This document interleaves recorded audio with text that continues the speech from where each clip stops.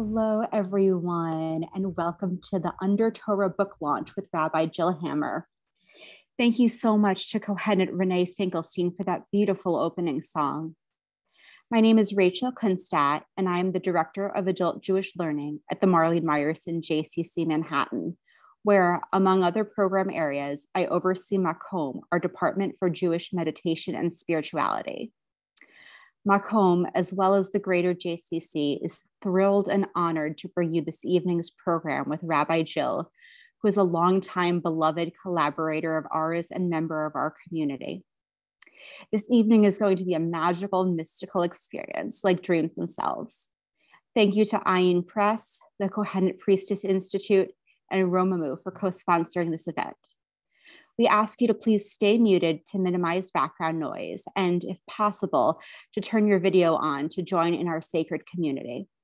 Without further ado, I'm happy to turn it over to our host for this evening, Kohenet Shamira.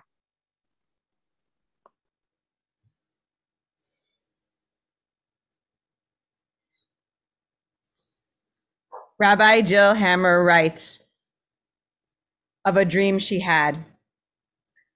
God said to me, I'm going to give you a gift. I'm going to give you wings to make you fly. But no one will listen to me because I have wings. Everyone will think I am strange. But God said, You will see. People will listen to you. My teacher, my friend, my colleague, the person who brought me in and ordained me as a Kohenet, Jill, we are here, hundreds of us today, to celebrate this amazing, amazing, amazing accomplishment of this book. You have taught us that a dream is a gift and your book to all of us is a gift to us, a gift to our lives, a gift to our souls. We read in the Zohar, Alas, for the one who regards the Torah as a mere book of tales and profane matters. If this were so, and by the way, we know a few people who might still think this, if this were so, we might today even write a Torah dealing in such matters and still more excellent. In regard to earthly things, the kings and princes of the world possess more valuable materials. We could use them as a model for composing a Torah of this kind. But in reality, the words of Torah are higher words and higher mysteries. And we are so lucky to have you in this plane on a cellular level, even though we're on Zoom, the fact that we can be connected to these pages, these Ayin Press pages on a cellular level.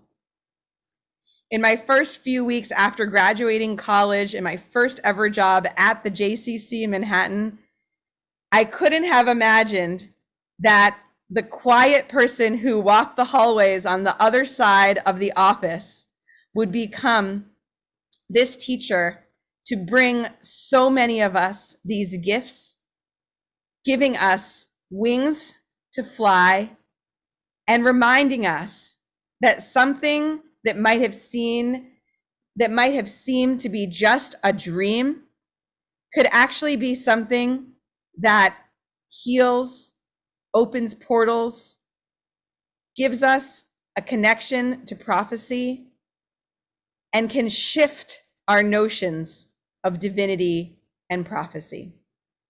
We are so thrilled to be here together to celebrate this book and to celebrate you, Jill, tonight.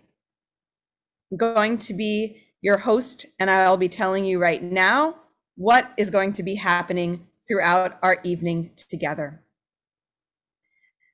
First, we are going to have an interview with Jill by Dori Midnight, and I will introduce both of them formally in just a moment. Then we will hear an original song from the absolutely fabulous Chazan Basya Schechter. We will have an opportunity to engage and taste dream practice with Jill herself. Then there will be an open time for Q&A. Folks can write in the chat even uh, throughout the night, and then there'll be an official moment where you can write your questions in the chat, and we will get to hear from, from Jill your, your reflections on those questions. We will hear from our publishers from Ayin Press. And we will have a chance to share some, some blessings at the end. And we'll be here for about an hour and a half. So again, we encourage folks to keep your videos on if you are able to and listen in if you aren't able to have your video on. We're just so happy that you all are here. There is so, so, so much to celebrate and so much to honor. We are about to hear an interview with our featured author and with Dori Midnight. I'm going to introduce them now. Rabbi Jill Hammer, PhD, author, scholar, ritualist, poet, midrashist, Kohenet, and dream worker. You may know her as the spiritual director of education at the Academy for Jewish Religion and the co founder of Kohenet Hebrew Priestess Institute. She is the author of the book we are celebrating tonight, Under Torah, an earth based Kabbalah of dreaming, as well as many other books such as Return to the Place, The Magic, Meditation, and Mystery of Sefer Yetzirah, The Hebrew Priestess, Ancient and New Visions of Women's Spiritual Leadership with Taya Shere, A Jewish Book of Days, A Companion for All Seasons, Sisters at Sinai, New Tales of Biblical Women, and other books. She sees her primary work as guiding people to enter the dream world through dreams, journeys, stories, and sacred texts for transformation and for healing.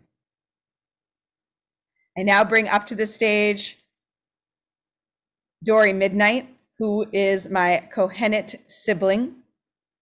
Dori is a community healer community healing practitioner, ritual artist, writer, and deep listener oriented towards healing and liberation. For over 20 years, Dori has practiced intuitive healing rooted in and guided by Jewish ancestral traditions, feminist, decolonial, and abolitionist scholarship, queer liberation, and disability and healing justice work. Drawing on ancestral wisdom, wisdom from her Sephardi and Ashkenazi lineage, Dori teaches workshops on ritual and remedies for unraveling times, remembering and reconnecting with traditions of Jewish ancestral wisdom as liberatory practice and queer magic and healing. It is my honor to pass the mic to you, Dori, to interview our author tonight. Thank you so much, Shamira. That was such a beautiful introduction. And Hi, Jill. I'm just so grateful and excited and ecstatic to get to talk to you and be with all of these people in this dream of a dream tonight. Mm. Hi, Dori. Thank you so much for being here. I'm already so moved and overwhelmed by Renee's song, Renee's song, and Kohenet Shamir's introduction, and, and uh, Rachel's really kind words, and everyone's presence here. It wow. really does feel like a dream. Very much. I I want to start us off. I'm so excited to ask you so many questions about this beautiful book, which I'm so personally grateful for. It just it feels like it's such a generous gift to have this dream book. It's like a book of my dreams to have um, this guidance and wisdom that is Jewish and feminist and earth based and um, magical and i'm so grateful and it's it's already been such an incredible um, guide for me in my own dreaming. But i want to i want to start us off where you invite us um, which is under the earth um, with the title of the book under torah. And you kind of you locate us in this underground temple um, in this realm that kind of turns the canonical understanding of revelation upside down. So rather than receiving from above to one person, there's this kind of bubbling up from below, almost mycelial um, access for many, for all of us, um, and and and a kind of like depth and and darkness. And I was wondering if you could talk about this title and this realm and this dimension as you understand it of, of under Torah. Mm. Thank you so much for this for this question. So I want to tell a, a, little bit of a dream story, and then I want to read two paragraphs from the book of an answer to this an answer to this question about why under Torah. Firstly, the title really comes from from dreams that I've had. You mentioned one of them, the dream of sort of being in a temple in Jerusalem and then finding out that there was a crack that went into the earth. And then if you followed it, there was an underground river. And if you followed that, there were, you know, there were lava vents.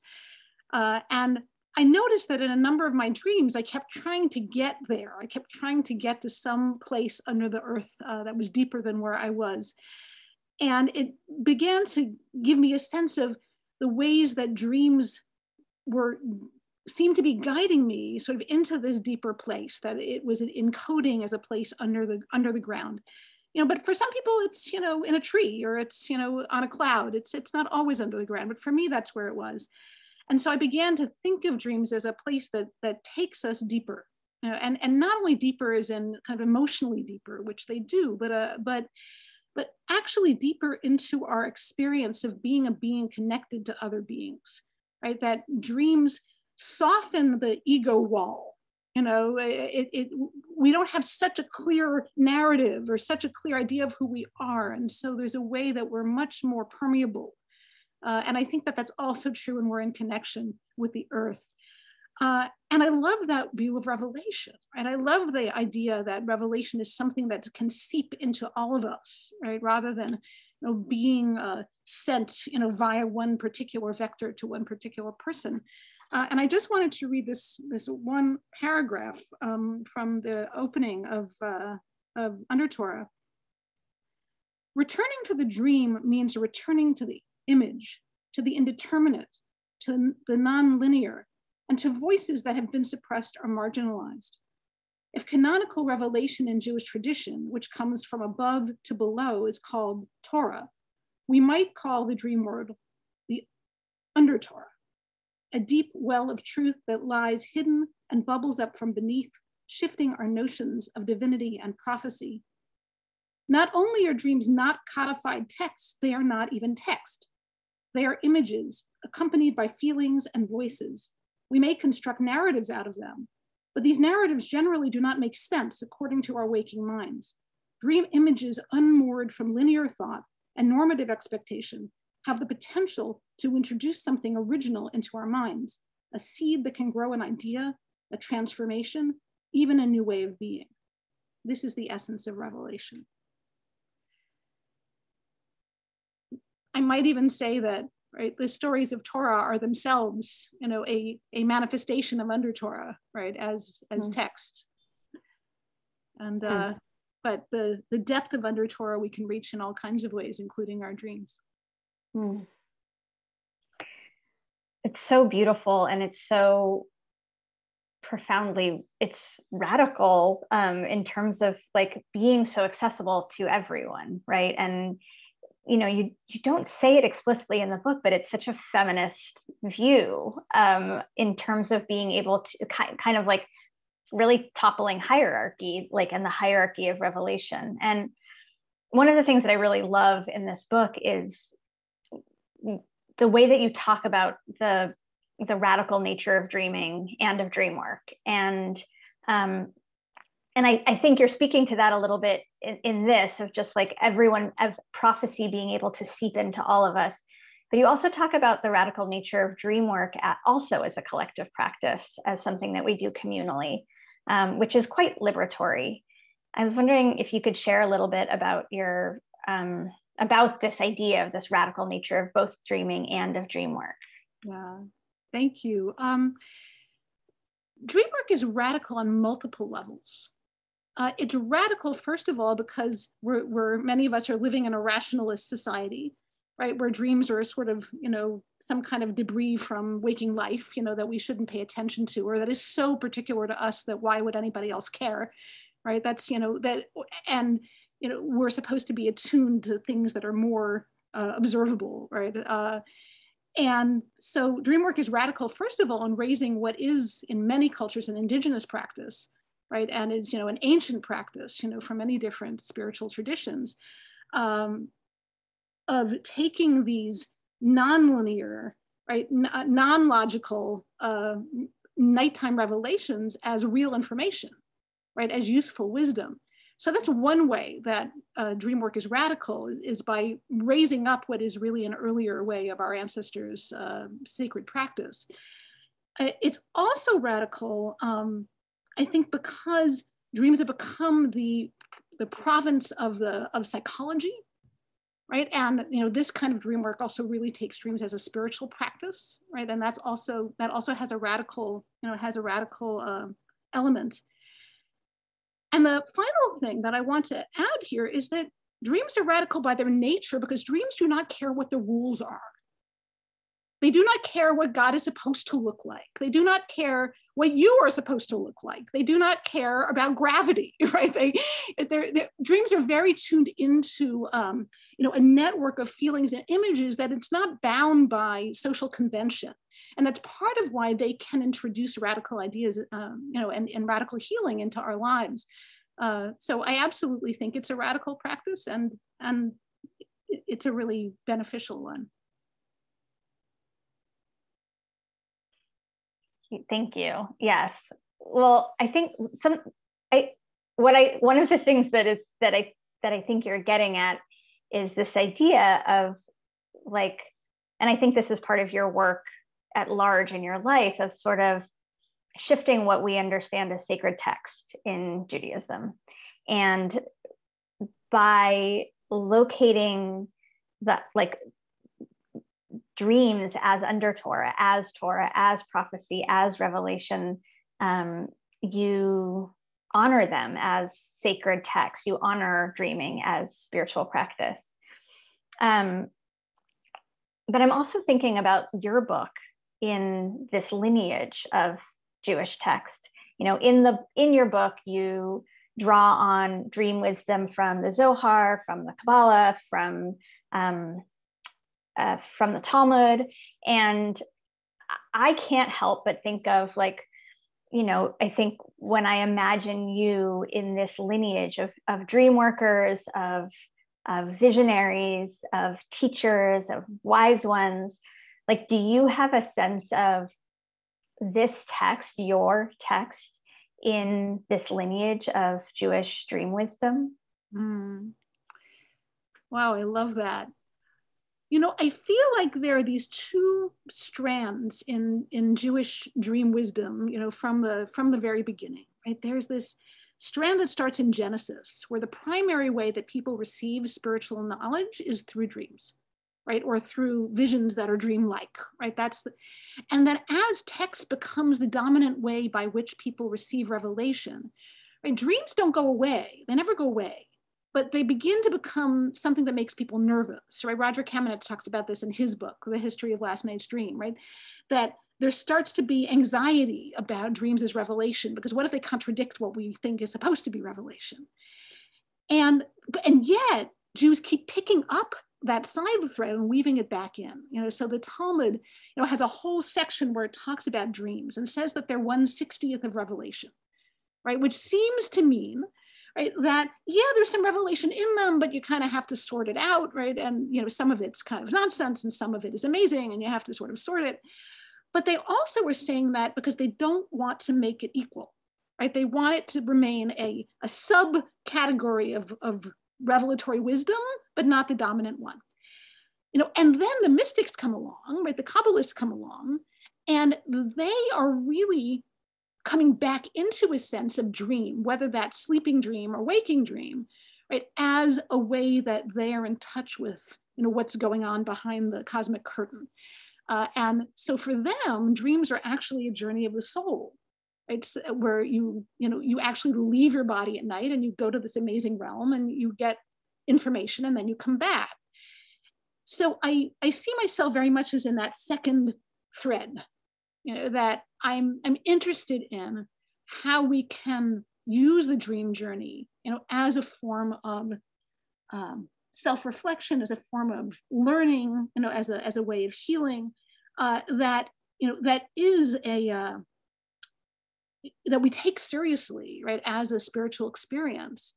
Um, so I very much see myself in that way. Uh, so, no, I think I, I put myself in the, you know, in the uh, Zohar's camp. Uh, and then I would also say uh, Chaim Vital, who was uh, um, an important student of Isaac Luria, the Kabbalist, uh, the great Kabbalist, said, uh, kept a diary.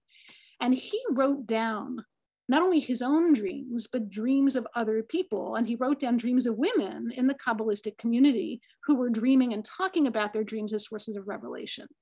Uh, and so we get their dreams because he wrote them down. And I probably, if there was a single text that I would pick as, you know, a predecessor to my book, I think I would pick those sections of his diary because I love uh, the ways that dreams become not only a, a kind of spiritual practice and reflection, but a way in which chavrutas in which two people who are in, in connection can talk with one another at depth. Right? Dreams allow us not just to learn something about ourselves, but actually to be in community in a deeper way. And you really see that in that diary. Hmm. That is so beautiful to to think about your book in conversation and connection and like in dream like also thinking about you in Dream Chavruta with all of these dreamers and with Chaim Vital too. Um, I just can, I can feel that dream. Um, I, I really like, I think this idea of um, honoring the dream as, as sacred text um, and like the, the love and devotion of the source as earth and then this other piece that I think is really in counter to a lot of sort of the more um, psychological frames, uh, more contemporary frames around dream work, where rather than looking at dreams as symbols or like in a kind of language of symbols or metaphor, you really talk about dreams as an embodied experience. Um, and so then like our our bodies then become also the site of revelation and prophecy. Our bodies are like where this happens rather than somebody else delivering it to us. And i think that's also so radical and profound and um, and and validating and such an invitation um, to get to experience our dreams. Um, i don't know just the way that that we think we because we're asleep we're not really thinking about what's happening to our bodies. Um, so I was wondering if you could speak a little bit to this idea of um, dreams as an embodied experience. Yeah, this is for me, uh, you know, uh, one of the reasons I wanted to write the book uh, was to talk, was to express something about this, about the um, the ways that we dream as bodies and we dream in connection to the, the earth as a body, uh, because a lot of what happens to us in dreams really comes out of sensations, right, that we might have not been paying lots of attention to, right, in waking life, but that comes back, you know, kind of comes roaring back in our sleep. You know, and they can be anything from sort of amazing wonder, right, to complete terror, right? And and dreams kind of don't stop at the edge, you know, they they really um, uh, allow us to inhabit those feelings in a full way, in a, in a way that we might not uh, always inhabit them, right, in waking life, because we have all kinds of breaks on those experiences, right, that we don't have in our dreams. And I really see the dream as, um, let me see if I can find the, the other passage I wanted to read here. Um, the, um, the way that they are, um, uh, that they allow for the subliminal to be manifest and I think that this is very important from the embodied piece. Um, so, you know, here's a thing that I wrote. Um, Dream images show us our fundamental connection to being, to the world of plants, animals, earth, and stars, what David Abram calls the more than human world. We can never fully perceive the being that holds us. We can't see the electrons or touch the stars that send their light to us from a, such a great difference, distance nor can we see the cosmos inside us, the inner workings of our neurons, muscle, and bone. These things are what author and eco ecologist Stephan Harding calls the scientific invisibles, the atoms, microbes, and feedback relationships that make up the astonishing body of our living earth. It's somewhere within us, we viscerally know the truth of our organ, origins. that we are an organic particle of a vast living cosmos we can barely comprehend. So I see dreams as a time when the subliminal becomes you know, uh, overt. Uh, and, and so much of the subliminal is what we take in through our bodies. And, and that's why, although you know, there, there is a, a value to talking about the symbolic language of dreams, I'm much more interested in the way that dreams are a network of experiences right that are bringing us visuals and sounds and sense and sensations right in a, in a way that um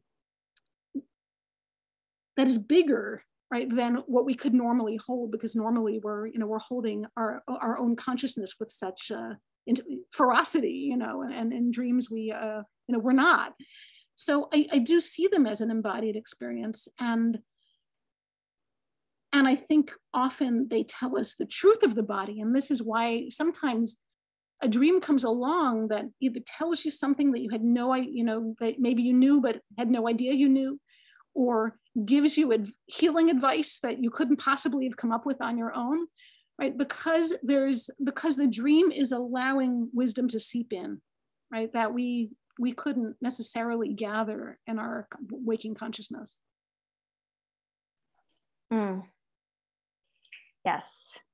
Uh, I this is like you know I want to ask you, of course, about dreams as a source of healing and of healing wisdom, and you know I I'm so delighted and um, blessed that I have two dreams in this book, which they're not under my name, so everyone here is going to have to guess what they are. But one of them is about you. And um, and you actually giving me guidance around uh, doing some really big healing work. And um, and I, i'm just like wanting to connect like hear you make these connections with both the ways in which dreams are an embodied experience and therefore that we have like the possibilities for healing within them and also receiving healing wisdom and um, and like who we meet in our dreams um, as sources of healing and guidance and wisdom. So I think that will probably be our last question. Is that right, Shamira? Yeah. So if you could talk a little bit about, um, yeah, your understanding of the possibilities of healing within dreaming. Sure. Thank you, Dori. I, I love that dream. It's it's the it's the most awesome dream. They're all awesome, and this one is awesome in its own unique way.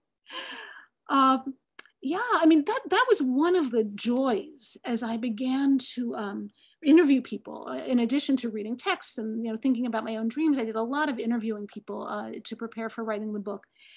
And one of the things that was astonishing was the was the healing stories that people told me, and some of them were very direct and miraculous. You know, like I was deeply depressed and then somebody gave me this food in a dream and I woke up and I wasn't depressed anymore, you know, or, you know, I was in the hospital, you know, with a heart condition and an angel came in my dream and then I, you know, the doctors couldn't find the heart condition anymore.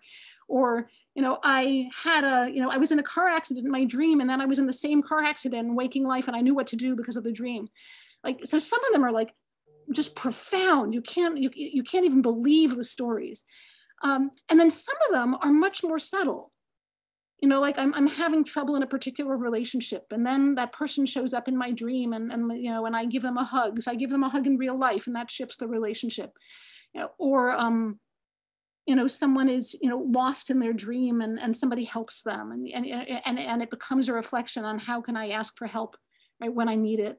Um in one of the dreams you know somebody who's having trouble expressing themselves you know pries their mouth open you know with using a tree you know? So sometimes the imagery is very direct like do this and you'll you'll be better right? And and sometimes it's it's much more subtle or um you know much uh, much more in sort of our normal dream vocabulary you know but there's there's real power in it. There's and it's i think one of the reasons to pay attention to dreams um, is that you have the potential you know for these um, these offerings that can really uh, uh, affect and change our waking lives. Um, not just be you know interesting, cool, you know, scary, exciting, uh, but but have real impact, especially when we're paying attention.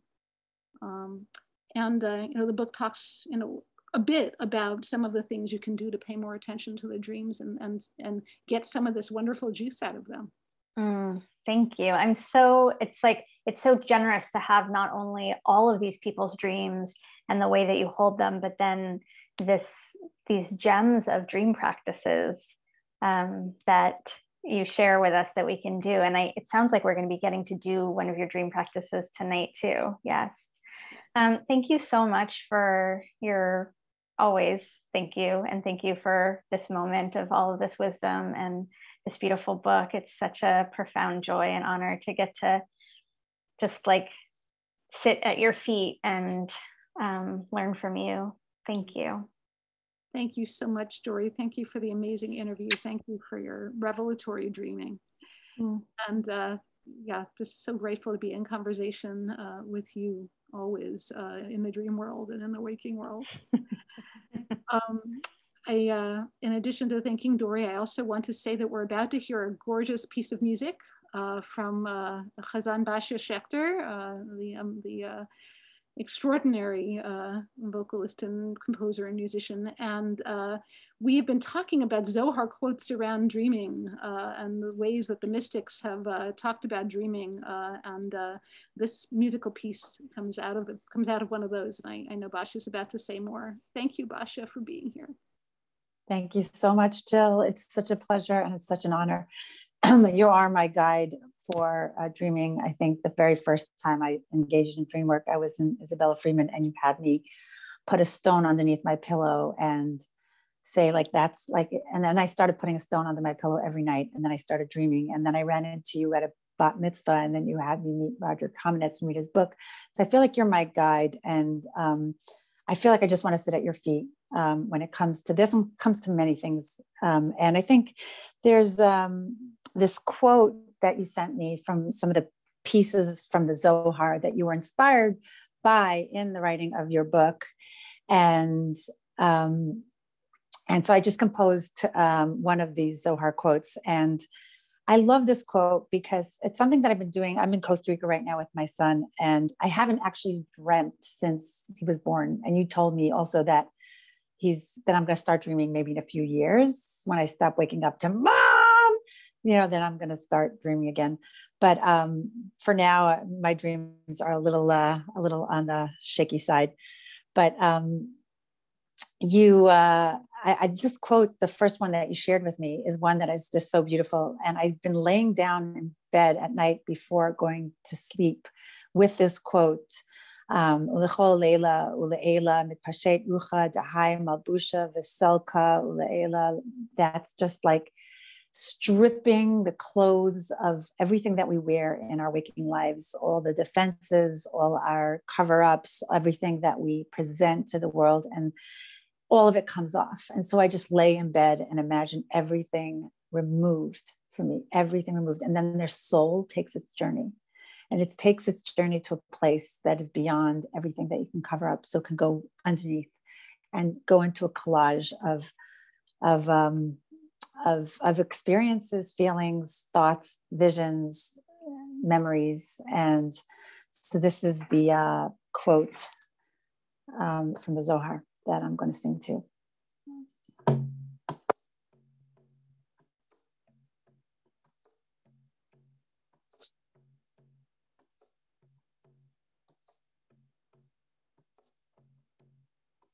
ולכל לילה ולילה מתפשט רוחה תחי מבושה וסוקה לילה או לילה לילה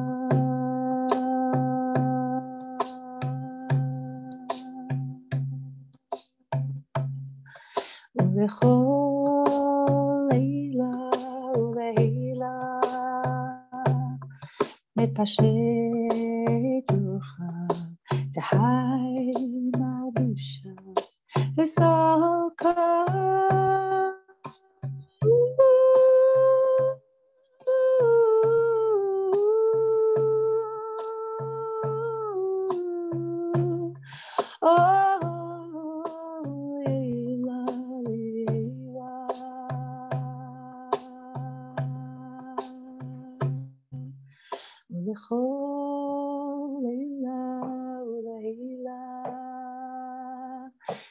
Asher Rucha Tehai Mabusha Vesoka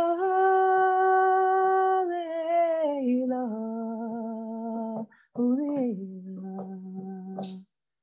Uleila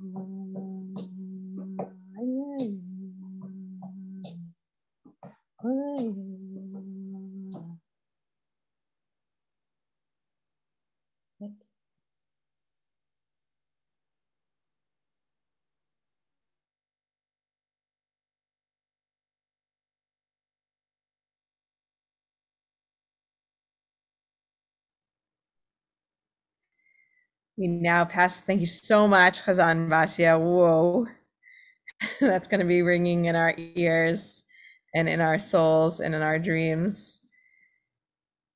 And we now bring back to the stage Rabbi Jill, who's going to lead us in some dream practice. We're all going to get to do this practice together. Mm.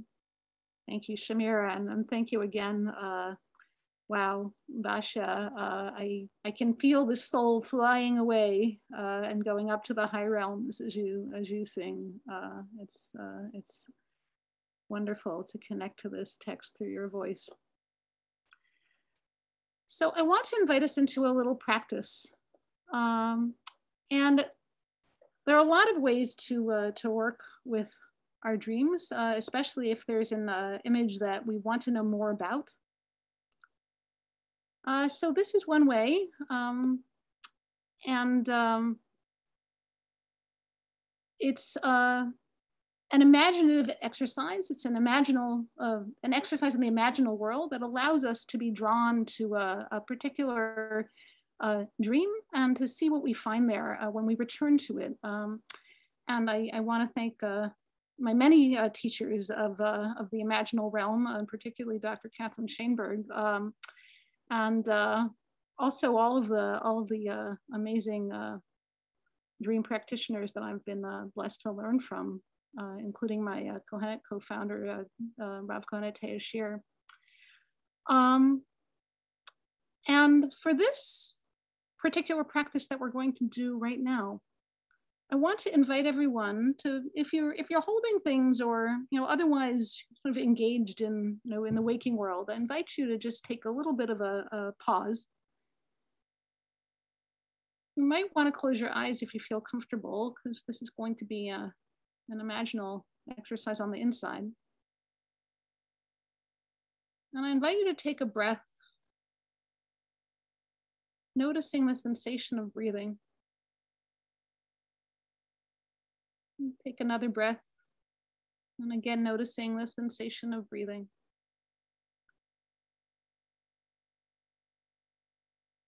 And begin to come to here and now, this moment, this place, this body.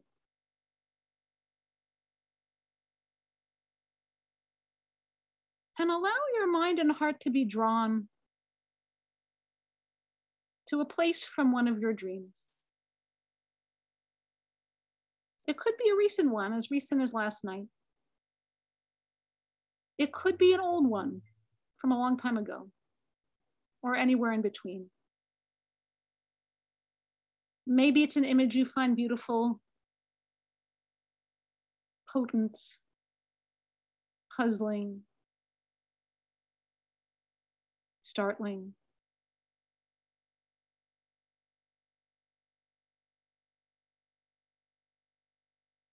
I invite you to just sit with this setting.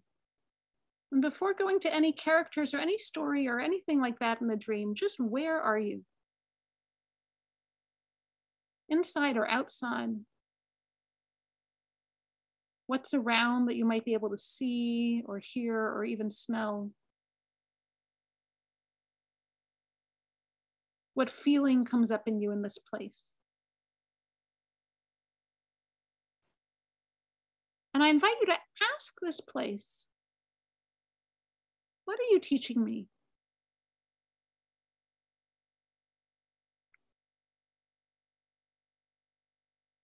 and listen and see if there's an answer.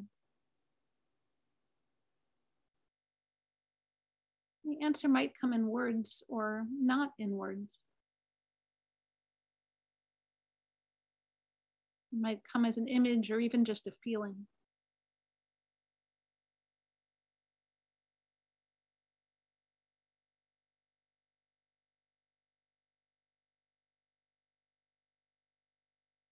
See what answer comes when you ask, What are you teaching me?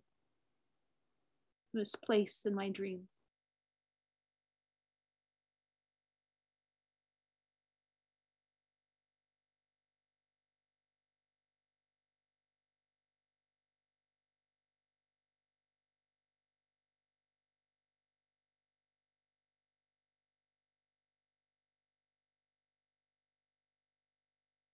Now I invite you to thank this place from your dream. And now think of a, a being from a dream. It could be from the same dream or a different one. Person, animal, plant, alien, rock, whatever is coming up.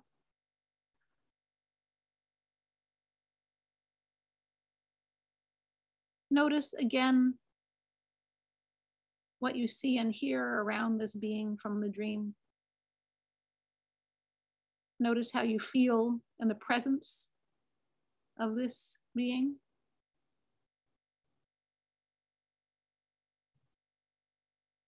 And just as you did for the place,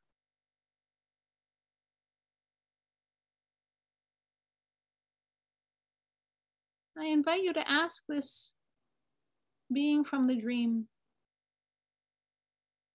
what do you want to tell me?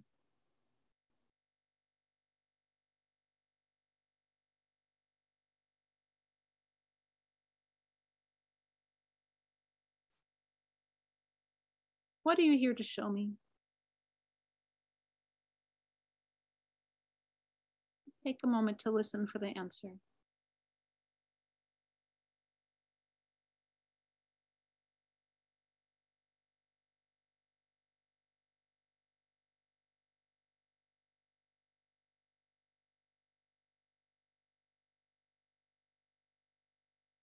And offer your gratitude.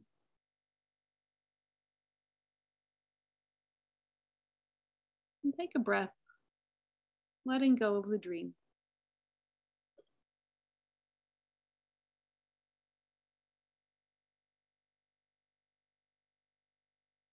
And there's one final thing. If you feel called to, if it feels like something you would like to share, you could drop into the chat the place or the being that you spoke to and what they said. Or anything you learned about that, the wisdom coming from that particular place or being in your dream.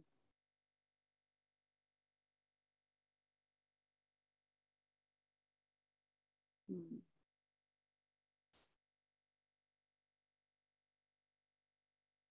And if you didn't get an answer or you didn't get a response,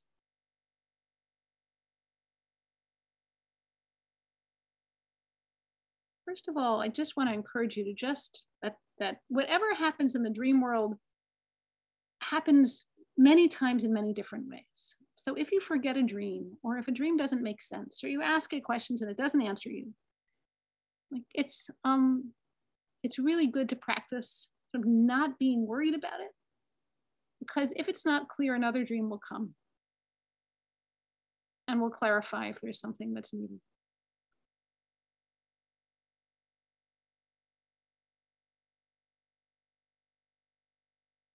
So if nothing came, just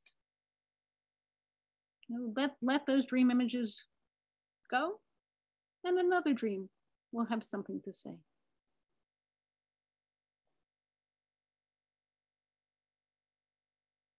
I'm going to read a couple of these.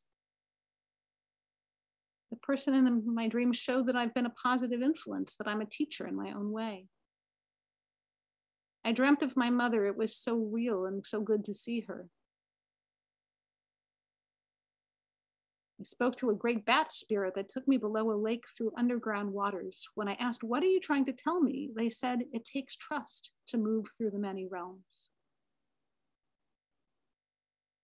Wow, I love that. It takes trust to move through the many realms. My ex husband came to me soon after his death, and in this practice, he just said to me, Thank you for the forgiveness. The Pathfinder said, There's always a way to go. Wow. So these sorts of dream wisdoms, you know, can come, and then we can see how we live into them, you know, in our waking uh, lives. Hmm. You are enough is another message someone got. Grief is a measure of love.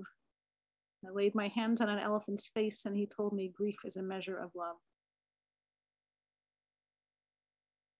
Nothing is permanent, but everything is eternal. That's good, such good truth in our dreams. So you can do this whenever you want. And uh, you can journal your dreams. It's good to write them down, come back to them. I like to come back to ones that are old. Sometimes a dream that didn't make any sense to me, I come back and poof, oh, now I get it.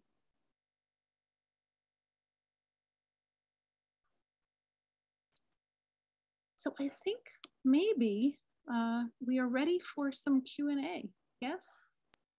Yes, we are. Whew we're going to move into the to the Q and A portion. I want to thank everybody for sharing their dreams. I know that's vulnerable to do, so I really want to thank people. Yes, thank you, and I also want to say thank you, Jill, for sharing the celebration of your book with all of us. Those of us who read the book know that there are sections of the book that talk about some of the science of dreams, some of the history of Jewish dream work, and then there's a huge section at the end which is actually training you on how to have a dream group.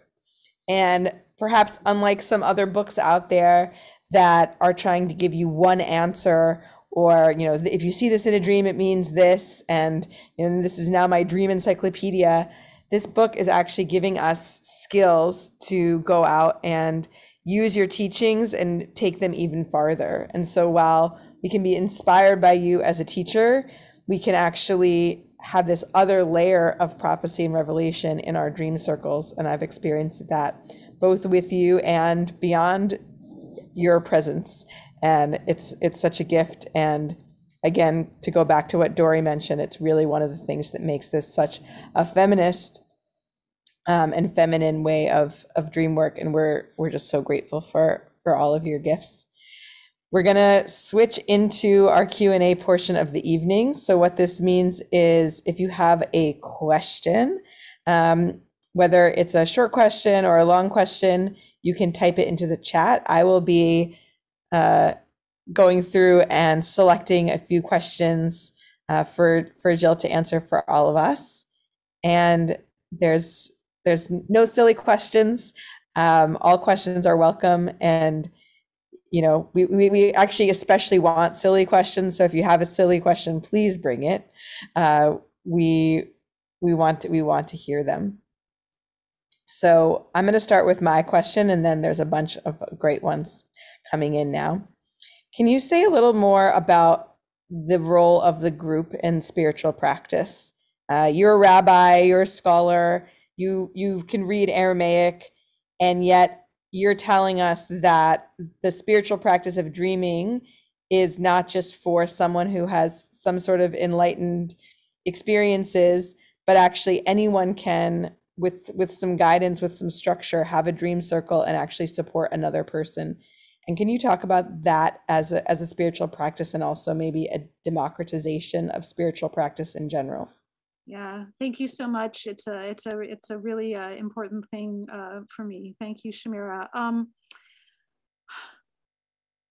so my experience of dreaming in community, right? That is dreaming and then sharing our dreams in smaller or larger groups uh, has been transformative. That there is something about dreaming that you don't always see the thing yourself. It, it helps to have someone else to reflect it to you. Um, and the particular, um, and, and, and, I don't think that that um, relationship has to be exclusively with a therapeutic provider of some kind. Uh, it can be, and that can be amazing.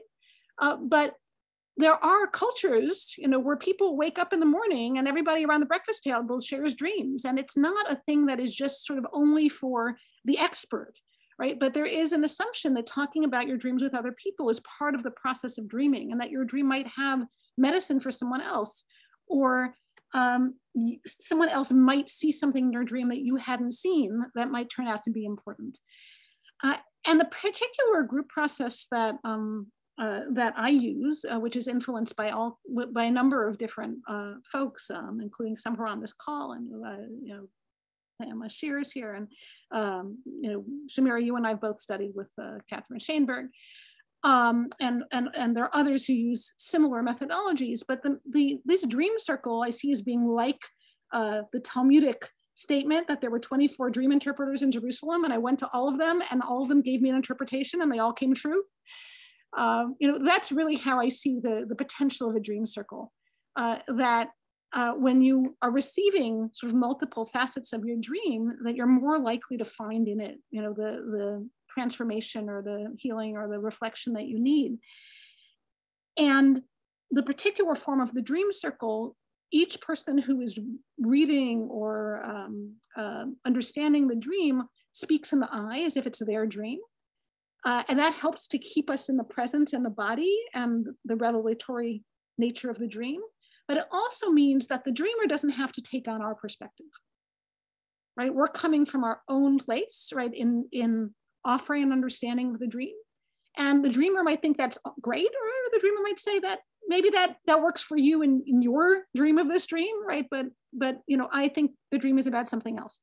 So, so that kind of provides a certain safety that allows for the sharing of the dreaming community.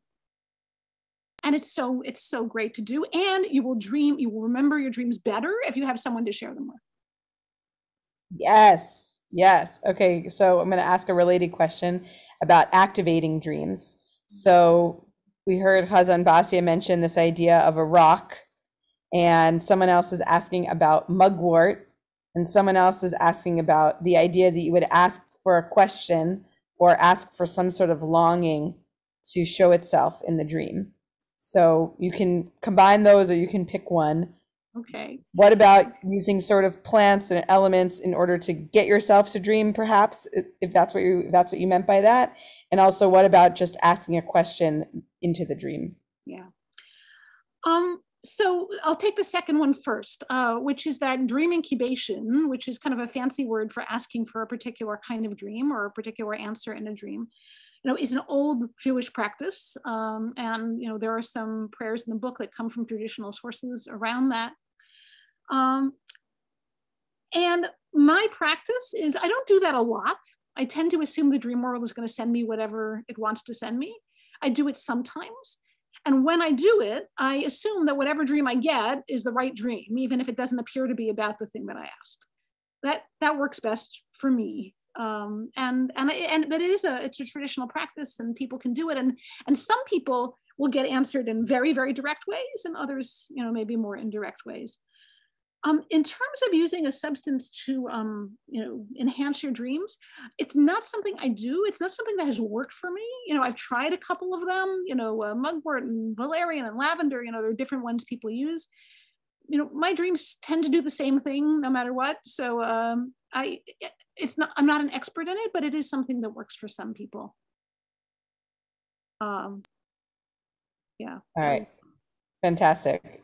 Uh, I'm going to say, I'm going to I'm to combine a couple more of these questions. Everyone who's sending in questions, if they're really, really great. Keep them coming. Um, so there's this question if our souls leave our body when we sleep to seek out Shekhinah, what is the source of our dreams?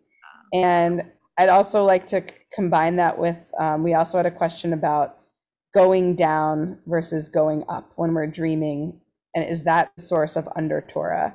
Where are we going and where are we finding our dreams or where are they finding us? Or is there no we? Is it just our soul is here and then Shekhinah is here? Draw us a map. Yeah, yeah. Well, I mean, of course, this is mysterious and probably high above my pay grade, but I'll say something about it anyway. Um, I mean, the, what I love about the language of the Zohar is that the Zohar says that you don't visit the Shekhinah when you dream, you're actually inside the Shekhinah when you dream. Like the Shekhinah is the place you go when you dream. So I like that actually better than saying, you know, the divine presence sends us dreams. And, and more that you know there, there's you know there's a sacred sense of place in a dream and so so I do feel that there's a, you know, there's a, a, sacred component, you know, kind of a cosmic component in my dreams. But the good news is that whether or not you believe that, this practice still works.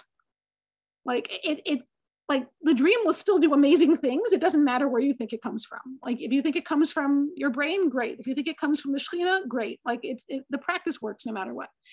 Um, but but I think of dreams as having their origin in our connection to the larger whole, which for me, you know, means the the, the divine connection.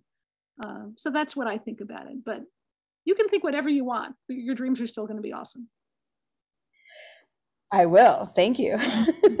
um, I really appreciated what you talked about with Dori in terms of what you do with the material of the dream that comes through and that we're going that we're going to honor it and then there's different things you can do with that material so in the exercise we just did we talked to it we asked it a question um, someone mentioned in the chat something about every character in the dream is you or every character is is a, a every body is the self mm-hmm. and can you say a little more about those questions and also about you know maybe you have a dream that you don't like, or maybe there's something that's not that interesting. What do we do with that um, yeah. versus the more exciting stuff? Great.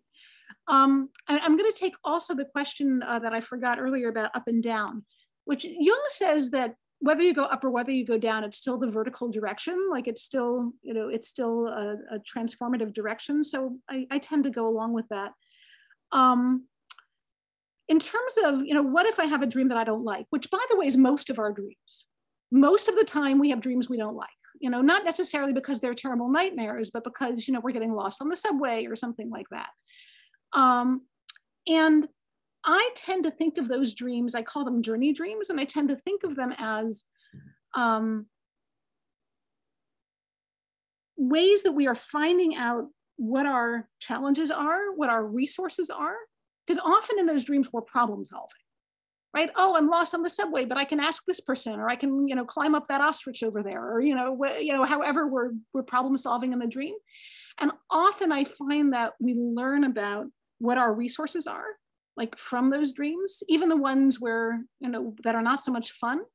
Uh, there are there are still really treasures in those dreams to mine, I think. So it's um, it's easy to get jealous of the sort of the amazing, you know, oh, I dreamed I was, you know, I dreamed I was at the heart of the sun, you know, and you know, you're like, oh, why, how come I can't dream about that? How, you know, how come I, I have to dream about, uh, you know, that I'm late to French class?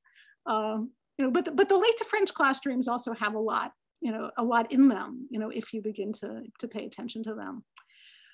Somebody in the chat, I'm going to grab this one for a second, asked about um, dreams versus active imagination, which I think is a really great question um, dreams and kind of waking dream state or you know journeying you know meditative or journeying state um, are very similar and some people work with them as the same and one of the reasons that i i really love dreams in a unique way is that the ego really isn't activated in the same way that is I'm, there's no part of me that's running the show in in a you know in a conscious directed way i mean there may be pieces of my ego in the dream but there's there's no, you know, over, there's no director, right? Whereas for most of us, unless, you know, we're incredibly uh, able to let go of our conscious minds, uh, for most of us, there is a director when we're doing a, a conscious imagination journey. Uh, so that's part of why I like dreams because they're very honest that way. Um, Beautiful. You, you asked something else. Hmm? Did you? No, maybe I got it. Okay. Okay, if you think of it, let me know. Um, if people, just so folks know, we're going to do this for another three or four minutes. So if you have any more questions, type them in the chat. We'll try to get to as many questions as we can. I want to talk about this question about dreams as text. Hmm. And, you know, someone could read this book and not be interested at all in spiritual practice, but it's just a fascinating book. The stories in here could be, there could be a whole just entire book that's just like essentially mythology that is just people writing down their dreams. And sometimes when I hear a dream that's I told you one I think last week that was just is so strange. I was like, this just needs to be a story that everyone reads because it's so breathtaking and there's a, a thousand things it could mean and it's just so important to be out there. Uh, the way this person phrased the question is why are the dreams in the second part of your book so processed, polished, arboreal, and narrative when when dreams are actually fragmentary, ta- uh, patchy, and nonlinear, rhizomatic, and non-textual as described in, in, in the introduction? Yeah. And so uh, the question is re- also just what is the role of writing down these dreams and who should be reading them and for for how long? right So one thing I'll say about writing down dreams is that there really is no such thing as a dream. There's a report of a dream, right? Because whenever you report the dream, right, you've forgotten things or you've added things to make it make sense, right? And of course, when you're writing a book, you know, people want the book to make sense. And so, you know, the dream narratives make sense. Um, and you know, and that's, um, you know, in some ways the, the price of waking up, right? We wake up and then, you know, we want the dream to, to you know, to have a, a narrative structure that we can follow. But, um, and yet, I, you know, in the report of the dream, which is kind of the text that arises out of the dream, which is not the same as the dream itself, right? In that report of the dream, there is the residue of the mystery of the dream, right? Which I, which I hope comes through in the book. And, you know, those, uh, those mysteries are, are deeply relevant to us if it's our dream, but my experience is it's also very moving to other people. Right there, that there is um, there's something about encountering these mysterious landscapes that even if it's not yours, at least for me, you know, and for many of the people that I've worked with, uh, there's something about someone else's dream that can awaken the sense of mystery in us as well. Um, so you know, so I think, you know, for me, you know, reading reading, you know, the mystery of the dream, or even if it's not my dream, is you know is really profound, you know, and uh, and powerful. Uh, so I, uh, you know, I if you know, you might be somebody who dreams all the time. You might be somebody who dreams rarely. For me, that's changed a lot at different phases of my life. Uh, but if you're not dreaming, it's it's great to be able to borrow somebody else's and uh, have a you know get to have a cool dream ride anyway. Amazing. I think I found the question that I that you only partially answered, which is about when every character in the dream is a version of oneself. And I think that relates also to this other question is what if you see someone in a dream that you don't want there? And mm-hmm. do you hmm. have any advice for that, someone in that situation? Yeah. Uh, let me take them both. And if I forget the second one, remind me. Um, so if you see somebody in a dream and you would prefer not to dream about that person, um, you can tell them not to come back. I, I can't promise it will work, but you can do that. And for many people, it does work. Like if you make a clear intention, like you're just not somebody I want to see in my dream world, like, you know, you can do that. There is another way to deal with it. But you can also choose, if you're open to it and it's not damaging for you, you can also choose to say, okay, there's someone or something in my dream I prefer is not there, right? But maybe they came for a reason and maybe i can start to think about that reason right? And that and which of those approaches you take is up to you right? That depends on your level of trauma around this person right? It's you know that you know that approach is up to you. But there is um you have the possibility of inquiring more deeply right and, and this is actually a thing to do with nightmares nightmares can often turn into incredibly healing experiences like if you're willing to kind of dive into the wave and, and face the nightmare um, but you know, people ask me around ancestor dreams, like some of them, you know, your ancestor comes and you know your loved one comes and it's fabulous and we're so happy to see them. And sometimes you're like, um, no, thank you. You know, you can you can say no, thank you. You know, and if uh, and and hopefully they'll listen. I think that's going to be our last question. We're going to move to. Is there anything else you want to add before we move to the slideshow? Um, oh, somebody asked about lucid dreaming, so I'll just quickly say one last thing, um, uh, which is, yeah, I mean, lucid dreaming is a really cool experience. I don't seek it as an experience because I like it when my dream is driving. Like I find that lucid dreaming often is right before I wake up. One of my classic examples is one of my best dreams ever. I was in my 20s and I was walking on this road and I found a stable and I went in the stable and there were dragons in the stable. And I got on a dragon and I flew the dragon and the dragon found this garden and was flying over the garden. And I mean, it, this was really one of, you know, in my top five dreams ever. And I began to be able to direct the dragon with my mind. Like I had a kind of a lucid dreaming stage of this dream. And then I knew I was about to wake up, right? Because lucid dreaming is closer to waking state. Um, so if you lucid dream, it's awesome. All kinds of dreams are great. Um, and I tend not to seek lucid dreaming because I like the I like where the dream is. I like where the, I like to see where the dream is taking me. Beautiful. Well, I I really appreciate everyone who put all these really thoughtful questions in the chat, and I can tell that some of you have read the book, and some of you, once you read the book, you will have your questions answered. And so we we encourage you to to buy one, buy one for your friend, buy one for your chavruta. And I'm gonna pass the mic back to you, Jill, so you can show us your slideshow. Tell us a little bit more about the making of the book. Great. Thank you. Uh, thank you, Shamira, for guiding us through the Q&A. And I know that there were many questions we didn't get to. Uh, you know, please feel free to to um, to you know to write me. I, would love to I'd love to hear from people. Um, uh, so what you're about to see is a, is a little video uh, that is uh, beautiful tiles with quotes from the book that Ayin Press put together uh, that I, I, really love. Uh, and also some images that are meant to put us into a little bit of a dream world. So, uh, so there are some, uh, some images interspersed here. So if you're seeking a dream experience, I hope this is it. Uh, and uh, just, to, just to give us a little bit of a dream breather. And I'll say that the song uh, which is called Jana Dreams, uh, here performed by the Wilderness Yet, uh, is a song I used to sing to my daughter every night before she went to sleep. and it's all about entering the dream world. Uh, so, so enjoy it, and and when when you get back, we'll we'll have a little bit more for you here.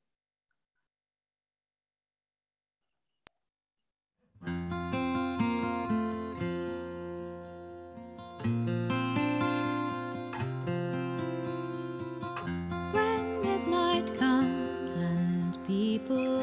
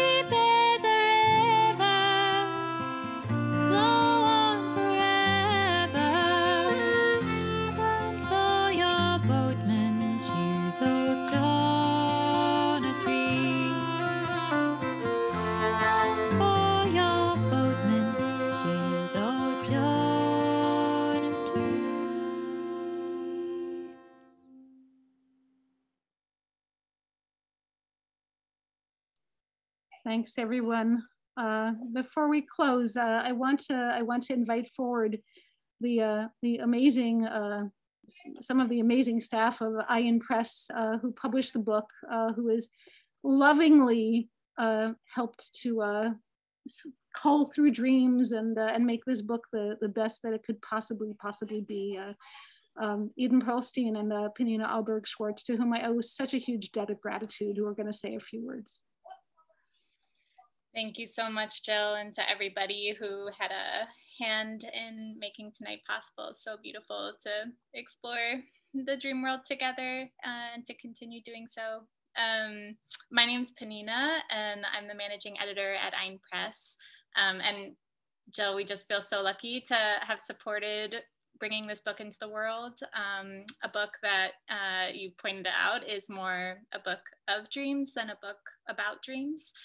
Um, and I was thinking about it today. The the distinction is an important one, one of contact and experience. A distinction uh, that seems to come from Rabbi Jill's commitment to meeting the world with openness and curiosity, and not like some other human approaches to dreams, religion, and power, with the intention to impose an already crystallized interpretation on top of what is.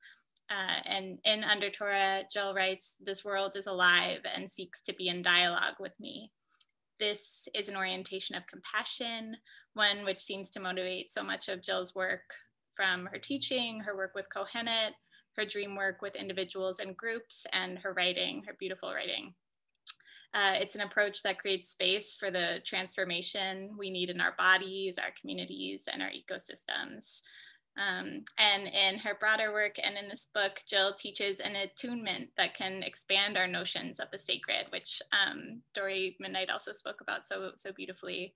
Uh, and this is really world changing work uh, since what we hold sacred has truly material effects on our lives and the lives of others. Um, I think this book was also world changing for me because it affirms the dream world as a place of questions, a place where messages can come through strangely and slantwise, um, a mode of transmission that is, of course, central to art and to us at Ayin in particular. Um, so we're just so grateful to Jill for her work in the world and uh, for inviting us into the dream world with her. Jill, thank you so, so, so much for allowing us to be a part of this really beautiful work in the world. Um, and with that, I'll pass it over to Eden, a co-founder of Ayin and a longtime friend and collaborator of Jill's, who'll say, say a few more words. Hello, thanks, Penina. Um, and thank you, Jill and Shamira and Dori and Basya and Renee and Rachel and everybody um, involved in putting this event on. Um, I'll just say a few words uh, about Ayin Press um, for those of you not familiar with our um, new and budding project.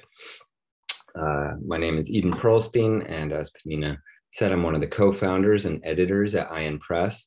And for those hearing about us for the first time, Ayin Press is an, a new artist-run publishing platform, production studio, and research collective rooted in Jewish culture and emanating outward. We create and support work at the intersection of political imagination, speculative theology, and radical aesthetics. We publish online and in print and this is our first official book project, as well as the launch of our speculative theology book series, where we hope to feature writers and work exploring a plethora of potential spiritual futures from a number of different vantage points.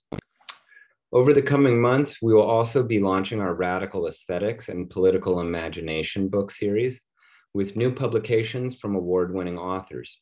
And you can visit our website to check out our online journal and other digital publishing platforms. And we will be launching a new platform in the next week or two, so stay tuned. Our vision is to create a Jewish publishing space that fosters openness, experimentation, and creativity, along with a sense of history, tradition, and responsibility. Contrary to the scarcity narrative that is so pervasive around topics like Jewish continuity and community, Ayin was started largely out of an acknowledgement of abundance. From our perspective, we're constantly amazed at the amount of deep creative work coming from artists, poets, musicians, scholars, activists, and rabbis, all reflecting on the timeless questions and contemporary issues that emerge from 21st century Jewish life. As publishers, we see our work as helping to gather and elevate these holy sparks. It is with this ridiculously high hope in mind that we are so honored to publish Jill Hammer's Undertorah. The perspectives Jill offers throughout this poetic and prophetic text are healing for the many rifts that have alienated us, not only from our deepest selves, but more importantly, from the earth, from the elements, and from each other. Jill's contention that dreams, rather than burrowing us deeper into our own tiny worlds of self concern, can actually connect us with deeper and wider networks of community, including with the more than human world, is quite literally radical, meaning it is both rooted and reaching beyond itself. This book lays the groundwork for a more democratic approach to the divine presence in our lives, offering us all perspectives and practices through which we can recognize and respond to the call of spirit as she speaks to us through every nook and cranny of creation. I am a longtime student, friend, and collaborator of Jill's, and I consider it to be one of my few merits accrued in this world that I was able to play a small part in bringing this book to publication. May all of our dreams for truth, peace, justice, happiness, and togetherness nourish the ground of being and produce the sweetest fruits from the tree of life. Thank you, everybody. Thank you, Jill, for this wonderful work. And thank you, everybody, for being with us tonight. Please um, check out ayinpress.org for a bunch of weird free stuff online and to purchase Jill's book and to stay tuned for a bunch of um, new things that we have um, brewing in the cauldron.